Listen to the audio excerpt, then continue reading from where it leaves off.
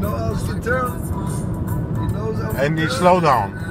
He He doesn't slow let go. down. No, he doesn't like it. So.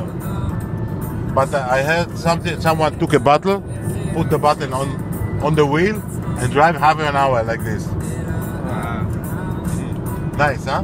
like having lunch or something.